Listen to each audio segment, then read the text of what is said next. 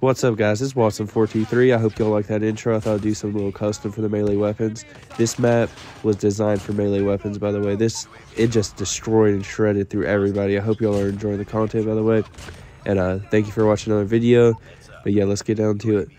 Ain't really much to say here. Just run around and stab them, you know. Just try to look cool with the balisong. That's the proper name, but I'm going to just refer to it as a butterfly knife because that sounds cooler. So, slice slashing them up. You know, do my thing as usual. but yeah, it's gonna be a real short video because you can just destroy everyone. Guns are useless on this map. But with Call of Duty logic, a knife is better than a gun if you ever bring it to a fight. So, know. And yeah, as you can tell, I died first, and then I still got it with 50 points still left. You know, still in the first round. So, with all that being said, thank y'all. My next challenge for getting a nuke is going to be killing the enemy, taking their gun, and then using that gun, getting another kill. I'm going to call it a gun game nuke.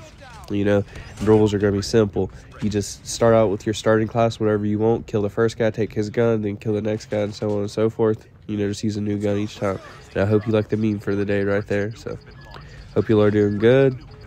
And yeah, we're about to get this. You know, I'm just going to finish it out just with this decimation because, you know, y'all just need to see me tear through these guys. There's a new boom, get all them kills. Triple kill, brutal victory. There we go. Heck yeah.